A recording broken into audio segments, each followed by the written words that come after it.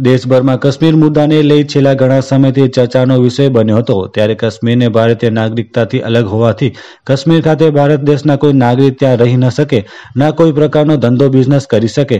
ત્યારે દેશના વડાપ્રધાન નરેન્દ્ર મોદી અને ગૃહમંત્રી અમિતભાઈ શાહ દ્વારા કલમ ત્રણસો સિત્તેર હટાવતા આજે માંગરોળ ભારતીય જનતા પાર્ટીના કાર્યકરોએ કાશ્મીરમાં કલમ ત્રણસો સિત્તેર રદ થતા માંગરોળ લીમડી ચોક ખાતે વંદે માતરમ ભારત માતા કી જયના નાદ સાથે ફટાકડા ફોડી ભારતીય જનતા પાર્ટીના કાર્યકરોએ એકબીજાને પેંડા ખવડાવી ખુશી વ્યક્ત કરી હતી. સ્ટોરીભાઈ વસીમ ખાન બેલી માંગરોળ.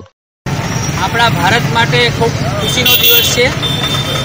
ભારતની અંદર વર્ષોથી જે જમ્મુ અને કાશ્મીરની સમસ્યા હતી અને જે બંધારણની કલમ ત્રણસો સિત્તેર અને પાંત્રીસ એ જે જમ્મુ અને કાશ્મીરને અલગ કરતી જે આ બે કલમો છે, એનો વિવાદ વર્ષોથી ચાલ્યો આવતો હતો. એનો ભારતીય જનતા પાર્ટીની એનડી સરકારે મારફત આજે જે આ બંને કલમો રદ કરી, એની ખુશીમાં આજે ભારત દેશની અંદર દરેક નાગરિકો ખુશીનો માહોલ વ્યક્ત કરે છે. એ પ્રમાણે અમે માંગરોળની અંદર પણ ભારતીય જનતા પાર્ટીના અમારા કાર્યકરો સાથે મળીને આ આઝાદીનો અમે ઉત્સવ મનાવીએ છીએ.